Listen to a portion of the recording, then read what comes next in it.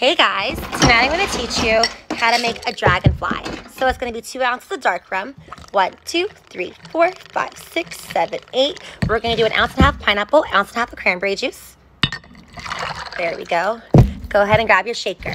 We're going to give this a nice good shake, shake, shake, shake, shake. Okay, grab your pint glass.